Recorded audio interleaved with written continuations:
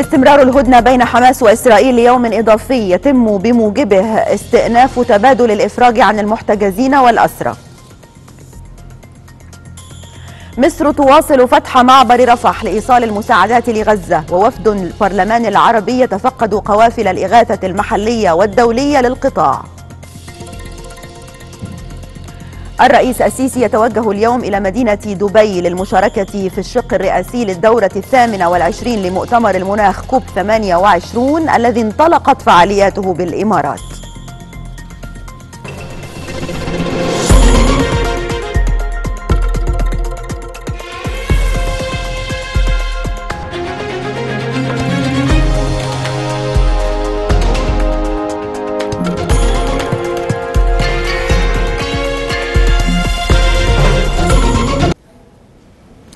الرابع عصرا في القاهرة نشرة إخبارية مفصلة تأتيكم من النيل ونبدأها بعد الفاصل.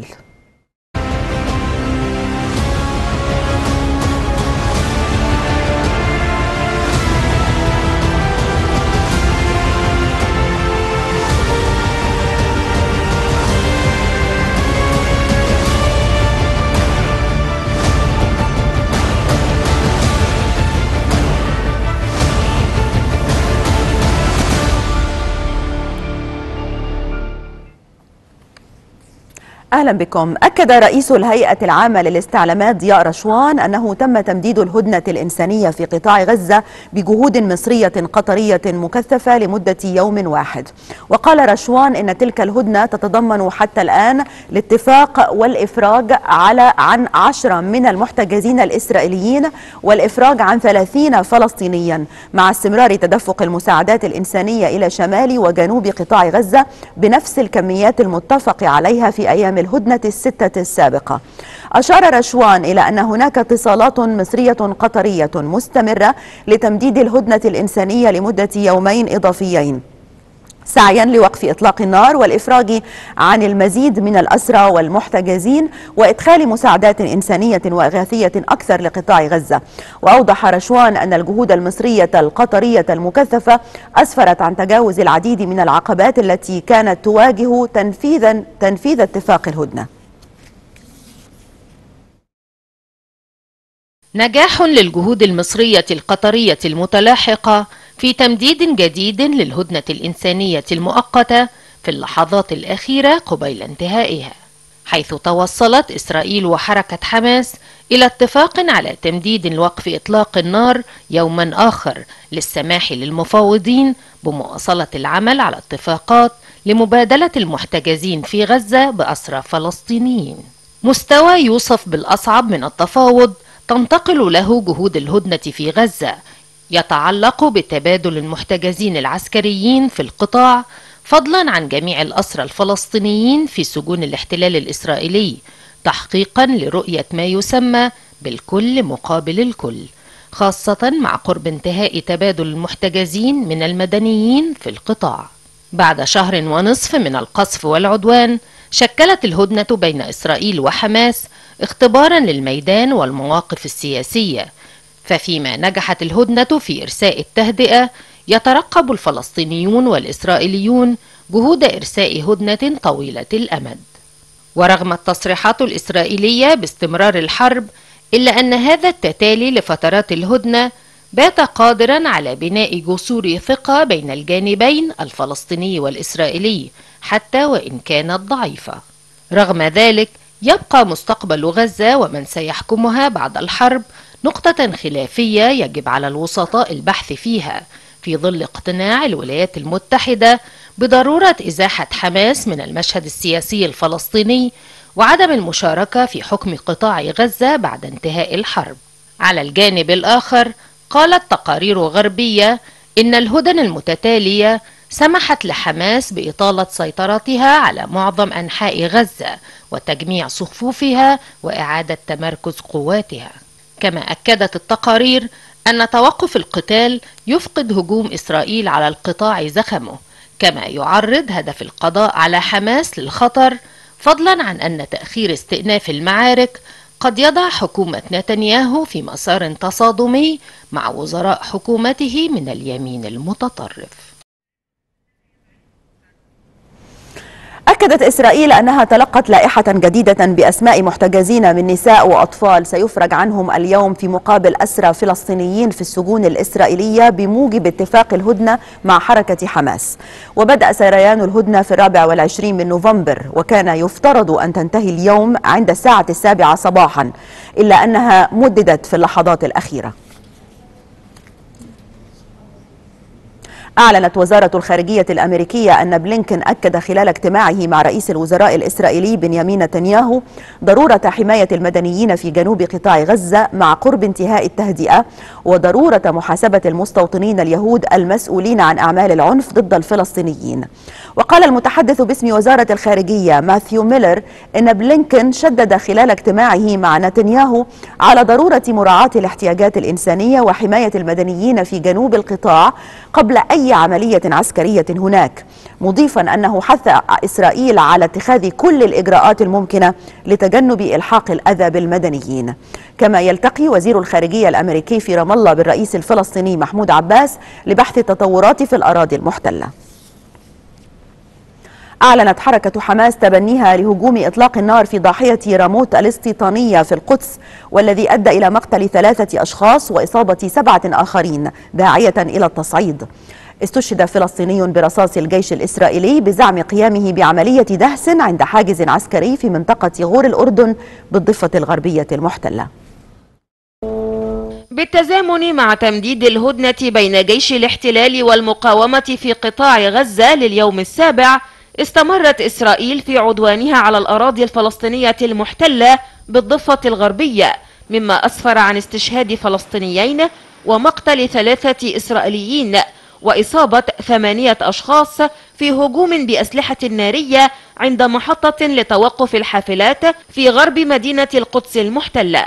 في الوقت ذاته استشهد شاب فلسطيني وأصيب أربعة آخرون برصاص الاحتلال الإسرائيلي غرب رام الله أمام سجن عوفر العسكري في بلدة بيتونيا حيث تم الإفراج عن نصف الدفعة السادسة من المعتقلين الفلسطينيين من سجون الاحتلال الإسرائيلي بموجب صفقة التبادل.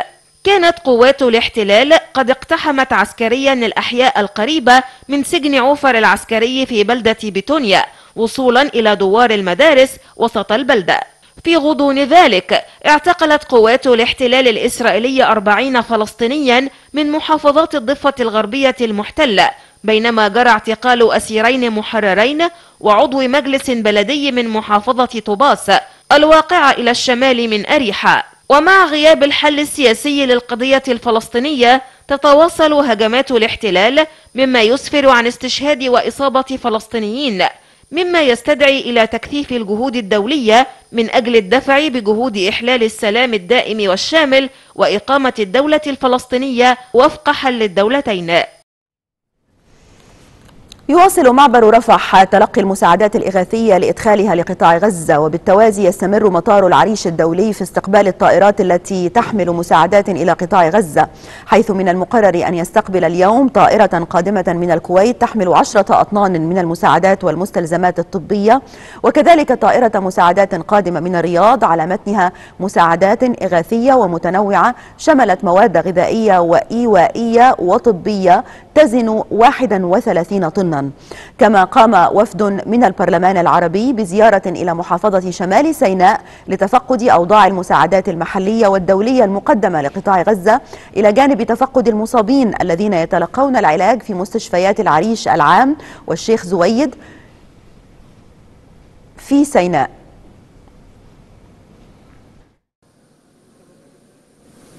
بعد التحية يمكن ما زلنا نرصد الأوضاع أمام معبر رفح المصري.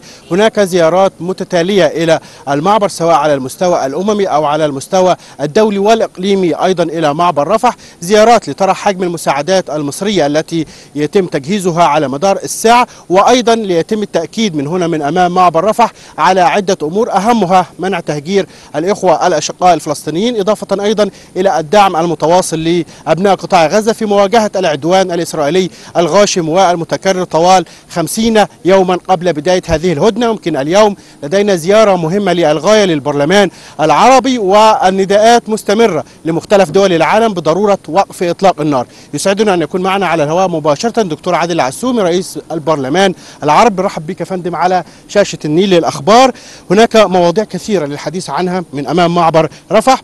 البداية أهم أهداف هذه الزيارة إلى المعبر والتأكيدات المطلوبة إيصالها سواء على المستوى الإقليمي أو على المستوى الدولي. طبعا هو أهم شيء هو أن تأكيد دعم الشعب العربي وقوف الشعب العربي مع الإخوان في فلسطين بشكل عام في غزة بشكل خاص وإدانتهم لهذا العدوان الغاشم الذي مثل ما تفضلت عدوان استمر 50 يوم رأينا كل أنواع الانتهاكات انتهاك للقانون الدولي انتهاك للقانون الإنساني فوجودنا هو رسالة دعم ورسالة قوة للإخوة الفلسطينيين بأن كل الشعب العربي معهم ليس متعاطف فقط بل داعم ومسخر كل الإمكانيات. أمانة ما رايناه من مساعدات ومن تسخير كافة إمكانيات الدولة المصرية هذا أمر مشرف بالنسبة لنا ونشوفه وهذا ليس بغرب عن جمهورية مصر العربية.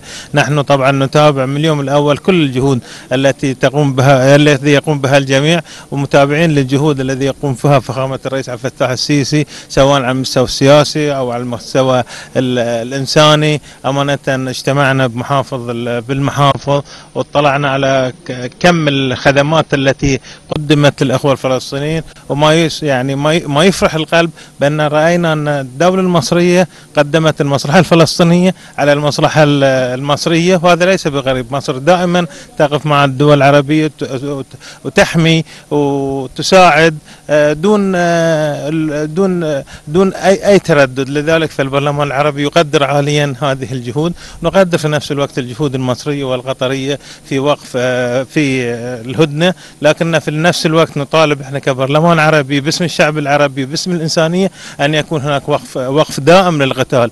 وعدم تكرار ما تعرض له الإخوة الفلسطينيين طوال الخمسين يوم الماضيه أمانة وندعو ندعو خاصة الدول الكبرى المؤثرة والدول الدائمة العضوية أن تغير من موقفها وأن تقف مع الحق وتقف مع الإنسانية وتقف مع المظلوم.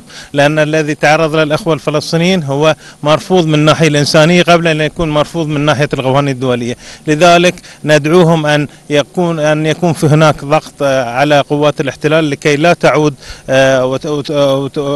لا تعود تقصف في عدوان غاشم. أمانة نعول على الشعوب الدولية على شعوب العالم التي فعلا كانت عند مستوى الإحساس بالإنسانية وهنا ضغطت بشكل كبير.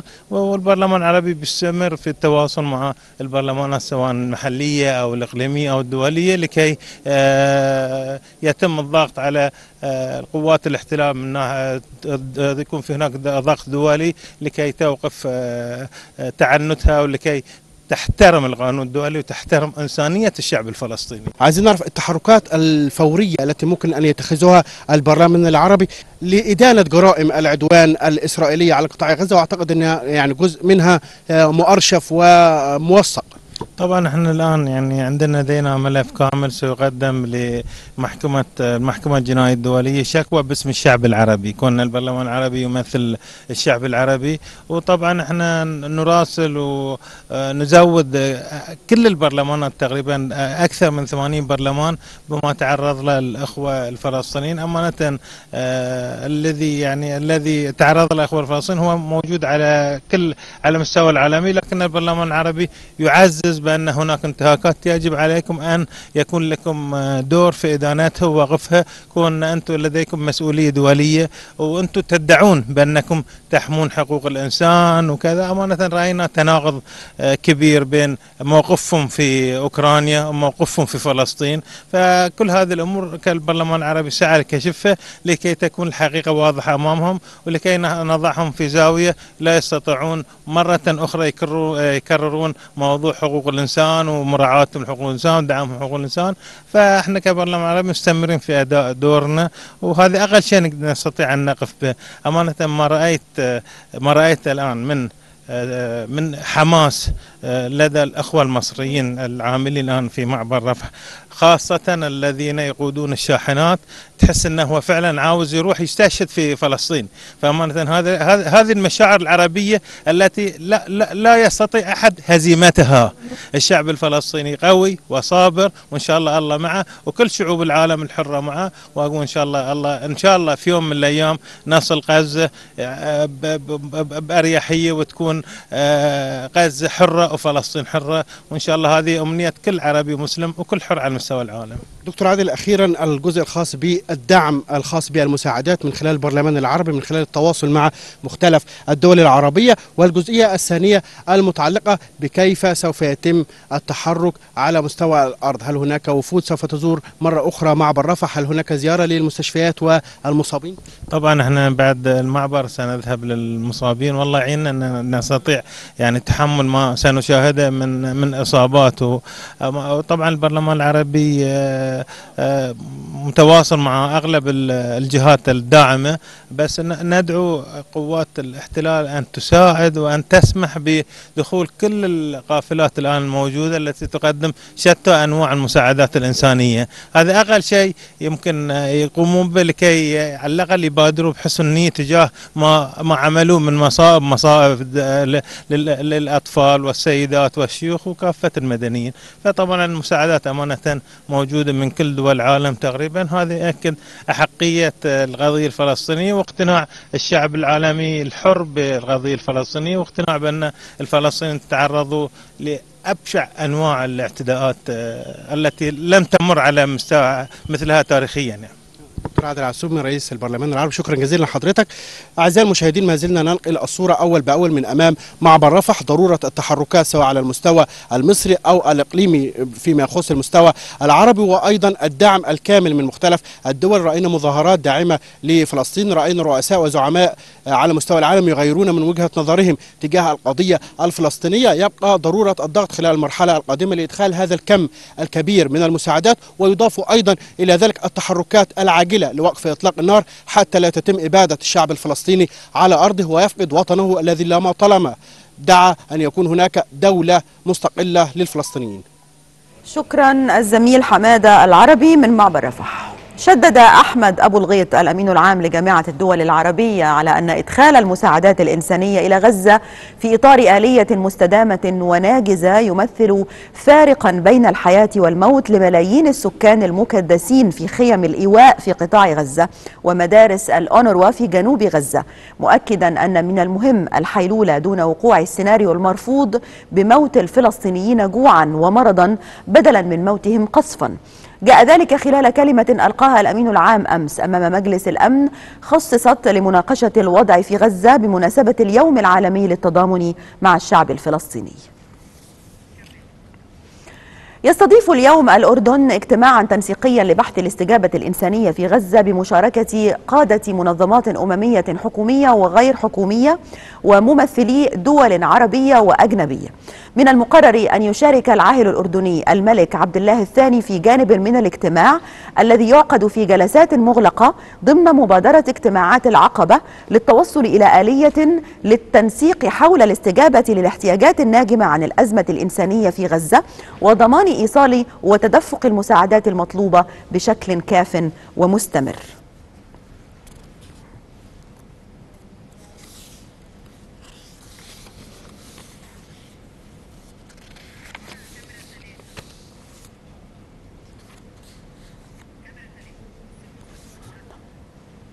يتوجه الرئيس عبد الفتاح السيسي إلى مدينة دبي بدولة الإمارات العربية المتحدة للمشاركة في الشق الرئاسي للدورة الثامنة والعشرين لمؤتمر الدول الأطراف في اتفاقية الأمم المتحدة الإطارية لتغير المناخ كوب سبعة كوب 28 تأتي مشاركة الرئيس السيسي بقمة المناخ تلبية لدعوة الشيخ محمد بن زايد رئيس دولة الإمارات الذي تتولى بلاده الرئاسة المقبلة لمؤتمر الأطراف وذلك بصفة مصر الرئيس الحالي للمؤتمر.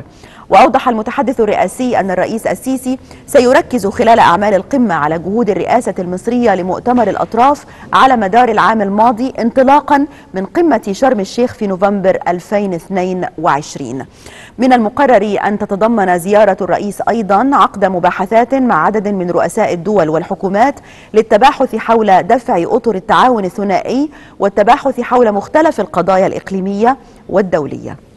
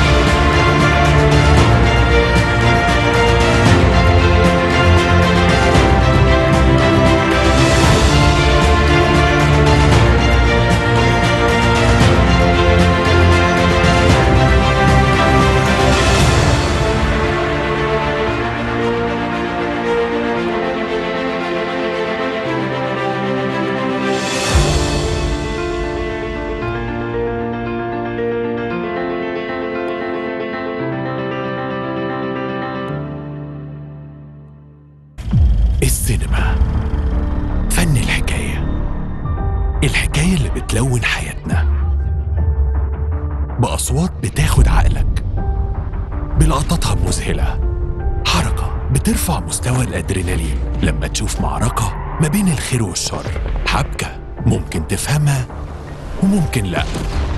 إحنا بنحب السينما بأفلامها وكل حاجة فيها بس الحقيقة إن ده مش فيلم. وده مش نجمك المفضل اللي هيدخل من فيلم لفيلم ومن شخصية لشخصية ويمارس حياته بشكل طبيعي. وده مش سحر السينما ولا ناس بتموت عشر مرات. دي مش شخصيات من أفلام بنحبها. كل دول بشر لازم نتحرك علشانهم لازم ندعمهم علشان مع بعض ممكن نوقف حروب العالم. وننشر السلام.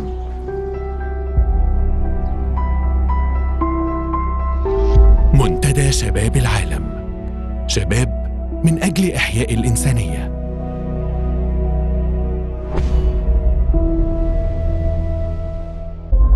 إيداكس 2023 المعرض الدولي للصناعات الدفاعية في نسخته الثالثة على أرض مصر. ملتقى هو الأكبر من نوعه في الشرق الأوسط وشمال إفريقيا لعرض أحدث المنظومات الدفاعية على مستوى العالم في الفترة من الرابع وحتى السابع من ديسمبر 2023 بمركز مصر للمعارض الدولية تحت رعاية السيد الرئيس عبد الفتاح السيسي رئيس الجمهورية القائد الأعلى للقوات المسلحة.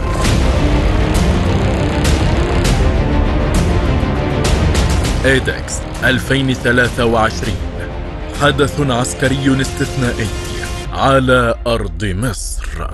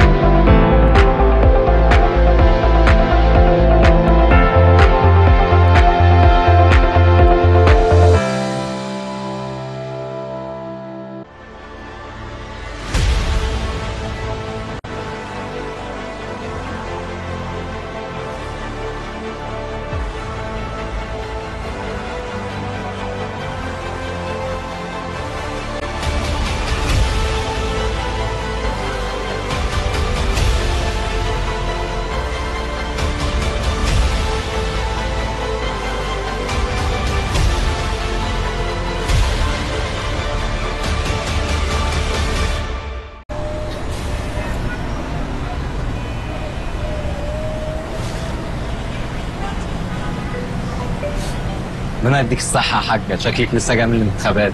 أيوه يا ابني. وأنت؟ آه طبعا. بس عارف أنتوا إزاي لسه بتنزلوا لحد دلوقتي. هو عشان أنت مش هتنزل. عايز الناس كلها زيك. ما النتيجة معروفة. انزلي مش هيضيف أي حاجة. على فكرة أنت كده بتصرف في حقك. ينزل ولا ما ينزلش. اعمل يا بابا اللي أنت عايزه. اللي أعرفه عندك رأي مقتنع بيه تنزل تقوله في الصندوق. وأنزل ليه؟ أنا قلت رأيي في مرداش لنفسه كتير بنفتكر لما نقول رأينا في قعدة صوتنا كده خلاص وصل وعدى. لكن الحقيقة رأيك مش هيعدي الأتوبيس اللي انت فيه وصوتك مش هيوصل للعالم كله إلا بالصندوق. الهيئة الوطنية للانتخابات. دورنا نحمي حقك ودورك تمارسه. شارك صوتك هيوصل.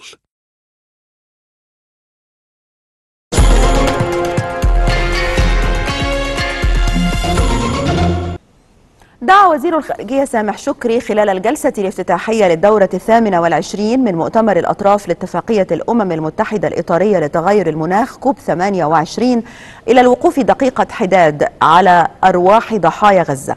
كانت فعاليات النسخة الثامنة والعشرين من مؤتمر الأطراف لاتفاقية الأمم المتحدة الإطارية بشأن تغير المناخ قد انطلقت اليوم في مدينة دبي وتستمر حتى الثاني عشر من ديسمبر المقبل. سلم وزير الخارجية سامح شكري رئاسة الدورة الثامنة والعشرين لمؤتمر الأطراف كوب 28 لدولة الإمارات العربية المتحدة. وخلال كلمته دعا شكري إلى إشراك الدول النامية في جهود مكافحة تغير المناخ مشيرا إلى أهمية تحسن الأفعال تحسين الأفعال الخاصة بالتغير المناخي. وإضافة شكري وأضاف شكري خلال انطلاق المؤتمر المنعقد في مدينة أكسبو أن الحوار المناخي أمر في غاية الأهمية من أجل الحفاظ على كوكب الأرض. قال وزير الخارجية سامح شكري أن خلال ترأس مصر لمؤتمر الأطراف كوب 27 استطاعت تحقيق إنجاز كبير في ملف الانتقال من الوعود ووضع القواعد والالتزامات للتنفيذ.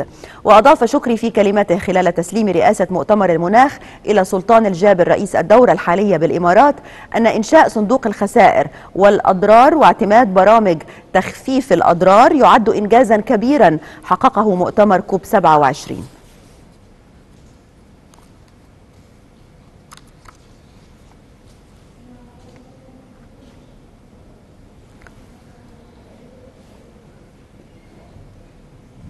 وقد أكد وزير الخارجية سامح شكري أن مؤتمر كوب 27 كان بمثابة انطلاق عهد جديد للعمل المناخي ومواجهة التغيرات المناخية مشيرا إلى ثقة مصر في أن قيادة الإمارات للدورة الجديدة من مؤتمر الأطراف للمناخ سيجعلنا نقترب من تحقيق الأهداف المرجوة. وفي حين أن نتائج شرم الشيخ أخذتنا خطوة إلى الأمام وفي الطريق الصحيح. هذه الرسائل المقلقة. يجب أن نتصدى إليها بسرعة وبفعالية لكي نضمن أن لا تذهب آه، ومع نقل مصر القيادة للإمارات العربية المتحدة. كلني ثقة في أن التصدي لهذه المشاغل. ستكون آه، ما سيركز عليه الرئيس الجديد لمؤتمر الأطراف. وتحت القيادة الحكيمة. لمعالي الدكتور سلطان أحمد الجابر سنقترب. من تحقيق وينضم إلينا مباشرة من دبي موفد النيل هاني فرج هاني كيف تابعت أهم ما جاء بالجلسة الافتتاحية للدورة الثامنة والعشرين من مؤتمر الأطراف لاتفاقية الأمم المتحدة آه، الإطارية. كوب 28 نعم آه، مشاهدينا الكرام وزملائي في الاستوديو بالفعل مصر اولا قامت بتسليم آه، الرئاسة آه، رئاسة الكوب آه، 28 لدولة الإمارات العربية الشقيقة وذلك آه، من خلال السيد سامح شكري وزير الخارجية. آه، بالفعل كان هناك عدد من الرسائل الهامة التي آه، قيلت بين الجانبين بين مصر والإمارات. آه، في هذه الجلسة الافتتاحيه على سبيل المثال السيد سامح شكري قال آه، إنه آه، يجب العمل أكثر وأكثر من خلال جعل الدول النامية تخوض في مسألة التغير المناخي وبالفعل كما نعلم جميعا أن هناك أزمة حقيقية فيما يتعلق بما يسمى ليس فقط التنمية المستدامة ولكن أيضا التنمية المقاومة للتغير البيئي وهو ما يسمى بالإنجليزية resilient development. نعم هذه هذا المصطلح في غاية الأهمية لأن الدول حاليا كما تابعنا وكما شاهدنا خلال عام 2023 تضرب بزلازل وتضرب بأعاصير لا سيما في منطقة الشرق الأوسط.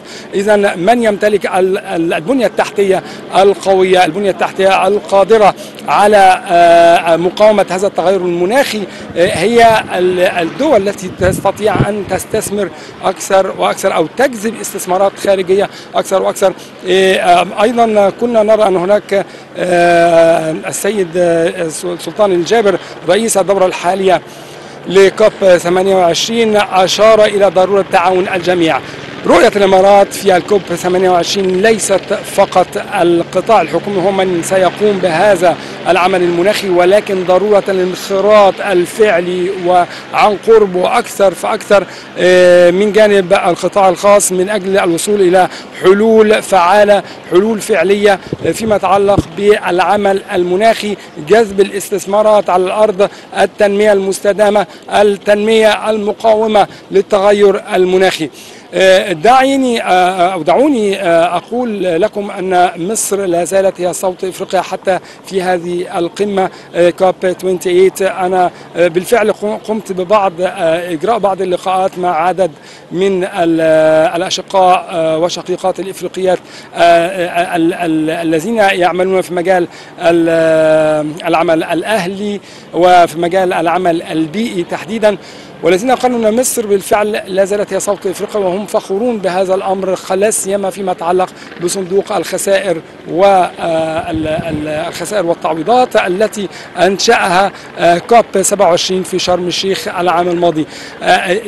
دعوني أقول مرة أخرى بالفعل وهذا ما اطلعت عليه أيضا من قراءاتي في الصحف العربية والصحف الإماراتية أن نعم أنظار العالم تتجه إلى دبي ولكن في المخيلة وفي الاعتبار قرارات قمة شرم الشيخ قرارات قمة كوب 27 لا سيما مرة أخرى صندوق الخسائر والتعويضات لأن هذا هو المفتاح الحقيقي لأي تغيير ولأي والوصول لأي عمل ناجح في مجال مكافحة سخونة الأرض والوصول بها إلى الحد من واحد ونصف والوصول بها إلى الحد من واحد ونصف درجة مئويه قبل عصر الصناعة. مرة أخرى الدولة الإمارات العربية الشقيقة تعمل حاليا في الوصول إلى الحلول الفعلية في بكل الوسائل وبكل الطرق وبطرق غير التقليدية وكان هذه أو كانت هذه إحدى أهم الرسائل التي بعث بها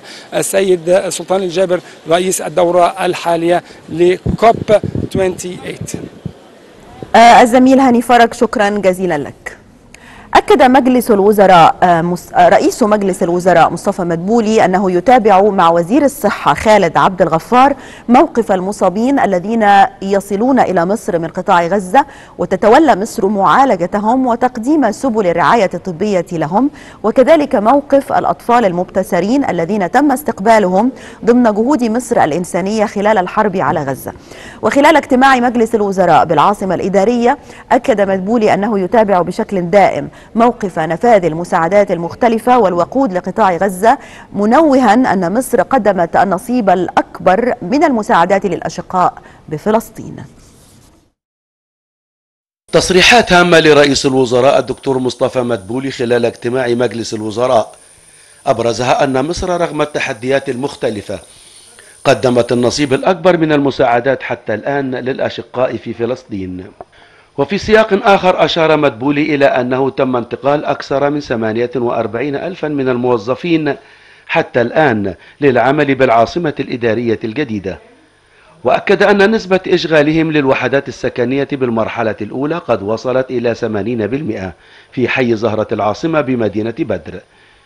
ووجه بسرعة تسليم المرحلتين الثانية والثالثة من إسكان الموظفين المنتقلين للعمل بالعاصمة الإدارية الجديدة. كما كلف رئيس الوزراء بإغلاق المباني القديمة للوزارات نهائيا حتى تنتهي مجموعات العمل من خطط الاستقلال الأمثل لها.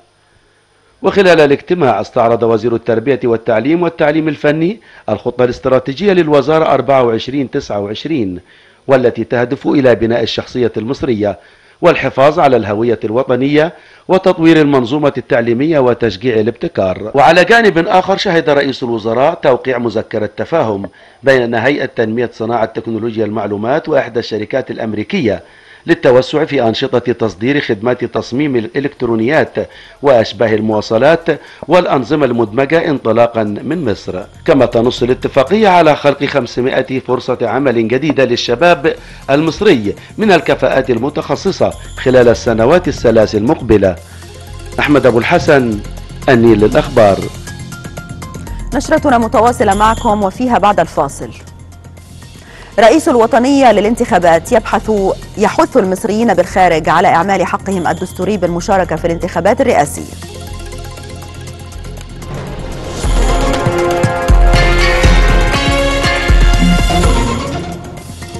وقفة مع أخبار الاقتصاد والزميلة شيراز الوفائي تفضلي شيراز. شكرا منى.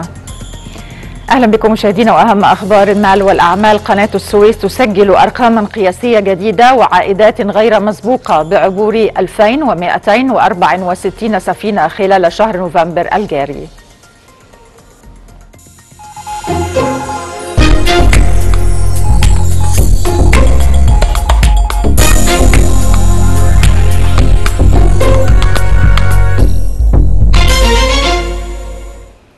قال رئيس هيئة قناة السويس أسامة ربيع إن إحصائيات الملاحة بالقناة خلال شهر نوفمبر الحالي سجلت أرقاما قياسية جديدة وغير مسبوقة على صعيد أعداد السفن والحمولات ليصبح الأعلى على مدار تاريخ القناة. وأوضح رئيس الهيئة أن حركة الملاحة بالقناة خلال شهر نوفمبر سجلت عبور 2264 سفينة من الاتجاهين مقابل عبور 2171 سفينة خلال شهر نوفمبر نوفمبر من العام الماضي بنسبة بنسبة زيادة قدرها 4.3% مضيفا أن عائدات قناة السويس خلال شهر نوفمبر من العام الحالي حققت زيادة كبيرة قدرها 20.3% وضع وزير التجارة والصناعة أحمد سمير حجر الأساس لمجموعة مصانع ميديا بمنطقة السادات باستثمارات بلغت 105 ملايين دولار ليبلغ إجمالي استثمارات المجموعة في مصر نحو 247 مليون دولار تعمل على توفير 3900 فرصة عمل. من جانبه قال رئيس مجلس إدارة ميديا مصر عمرو سعيد إن نحو 40 إلى 50% من حجم إنتاج المجمع سيكون للتصدير لافتا إلى أنه من المستهدف أن تتراوح نسبة المكون المحلي من 50 إلى 70% مضيفا أنه سيتم افتتاح المرحلة الأولى من المصنع بالربع الأول من 2025 بحث وزير البترول طارق الملا مع رئيس شركة ترانس جلوب الكندية خطط الشركة لحفر أربع آبار جديدة خلال العام المقبل. في إطار برنامج حفر مكثف لتعزيز معدلات إنتاجها البالغة حاليا نحو 11.5 ألف برميل مكافئ يوميا. وتابع وزير البترول مع مسؤولي الشركة الكندية برامج حفر الآبار الجديدة للبحث عن البترول وإنتاجه في عدد من مناطق امتياز الشركة بصحراء مصر الشرقية. أكدت وزيرة التخطيط هلا السعيد نجاح تجربة مدارس أرض القرية الكونية كنموذج للشراكة بين صندوق مصر السيادي والقطاع الخاص بهدف تقديم خدمات تعليمية تطبق المعايير الدولية وبتكلفة مناسبة للأسر متوسطة الدخل. جاء ذلك خلال لقاء الوزيرة بعدد من ممثلي القطاع الخاص لبحث تكرار نموذج مدارس أرض القرية الكونية بالشراكة مع الصندوق واستعرضت الوزيرة الاستثمارات الموجهة لهيئة الأبنية التعليمية التي تقدر بنحو 11 مليار جنيه.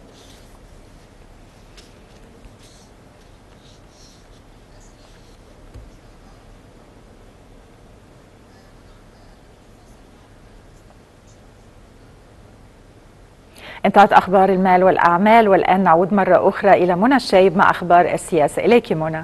شكرا شيراز. نتوقف مع فاصل قصير نتابع بعده نشرتنا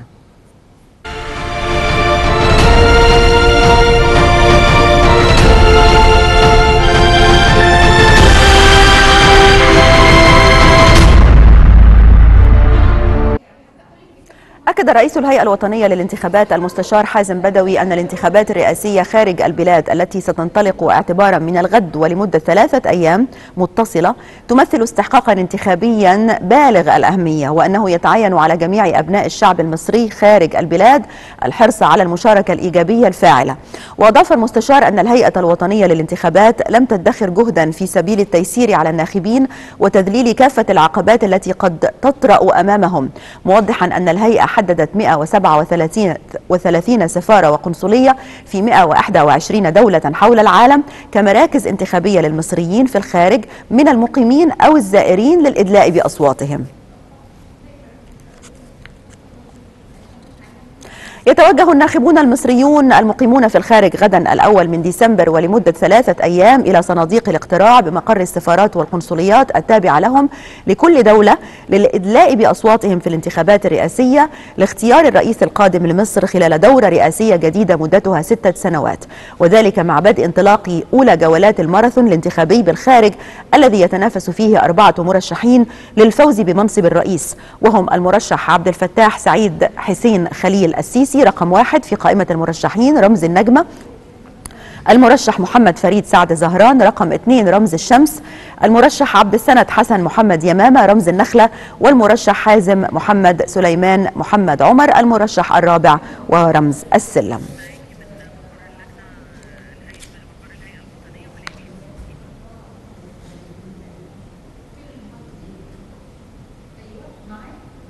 للمزيد من المتابعة تنضم إلينا من مقر الهيئة الوطنية للانتخابات مراسلة النيل ولاء الحديني. ولاء ماذا لديك من تفاصيل عن آخر استعدادات الهيئة للانتخابات الرئاسية بالخارج؟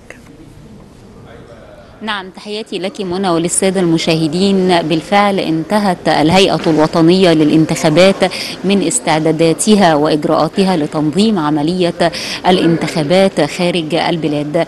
الانتخابات ستجرى داخل 137 لجنة فرعية داخل 121 دولة كما ذكرتي أيضا تبدأ عملية التصويت داخل اللجان الفرعية في الساعة التاسعة صباحا حتى الساعة التاسعة مساء بحسب التوقيت المحلي لكل دولة.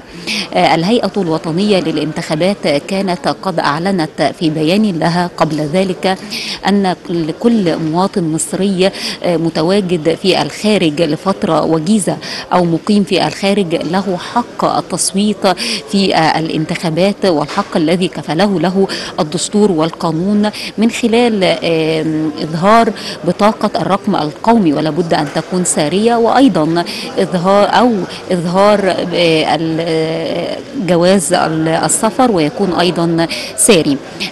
أيضا الإجراءات والاستعدادات التي قامت بها الهيئة الوطنية للانتخابات لتنظيم عملية الانتخابات خارج البلاد في الأول والثاني والثالث من ديسمبر تمثلت في التشغيل التجريبي لكافة الأجهزة وأيضا البرامج التي تقوم بتسهيل العملية الانتخابية على الناخبين من خلال الدعم الفني بفرق الدعم الفني التي تقدم الدعم التي تقدم الدعم لكافة السفارات والقنصليات في الخارج. أيضا كان هناك لقاءات افتراضية مع السادة السفراء ومع رؤساء اللجان الفرعية. هذه اللقاءات تم تناول خلالها ومناقشة ضوابط الانتخابات وأيضا تم الرد على كافة التساؤلات والاستفسارات حول العملية الانتخابية وحول الضوابط القانونية والتنظيمية والفنية للعملية الانتخابية. كان هناك أيضا محاضرات قامت بها الهيئة الوطنية للانتخابات داخل وزارة الخارجية لرؤساء اللجان ولرؤساء البعثات المنقولين للخارج أيضا عن ضوابط العملية الانتخابية والجانب الفني والجانب التنظيمي والجانب الإداري. الهيئة الوطنية للانتخابات منى كانت قد أعلنت من قبل عن مجموعة من الضوابط لتنظيم العملية الانتخابية إلى جانب الإجراءات والاستعدادات والتي تمثلت أيضا في أن يكون لابد من إظهار بطاقة الرقم القومي وتكون سارية أو جواز السفر. أيضا لا يحق لمن لم يستخرجوا بطاقة الرقم القومي الإدلاء بأصواتهم داخل اللجان الفرعية في المقار الدبلوماسية بالسفارات والقنصليات. أيضا لن يسمح لأي مواطن مصري الإدلاء بصوته مرتين سواء في الداخل أو في الخارج. اليوم وأمس كانت فترة الصمت الانتخابي التي تسبق الانتخابات الرئاسية خارج مصر. هذه الفترة التي يتوقف تماما المرشحون عن الدعاية الانتخابية التي تتمثل في اللافتات وفي المؤتمرات الجماهيرية الحاشدة التي يعلنون عن البرنامج الانتخابي لإقناع الناخب بهذا البرنامج. وأيضا تتمثل في الظهور في وسائل الإعلام المقروءة والمرئية والمسموعة. أيضا الهيئة الوطنية للانتخابات كانت وضعت مجموعة من الضوابط من قبل هذه الضوابط التي تنظم عملية الدعاية وهي عدم السماح باستخدام الشعارات الدينية أو استخدام أي شعارات تمس من وحدة المجتمع وسلامة المجتمع وعدم استخدام دور العبادة والجماعات وأيضا الهيئات الحكومية والمباني الحكومية وعدم استخدام وسائل نعم. المواصلات نعم ولا. سيكون هناك مؤتمر صحفي بعد قليل في الهيئة الوطنية يتحدث عن نعم. باقي الإجراءات والاستعدادات وسنوافيكم بكل ما هو جديد منى. شكرا لك الزميلة ولاء الحديني من الهيئة العامة للانتخابات. نعود مرة أخرى مشاهدينا لجلسات كوب 28 و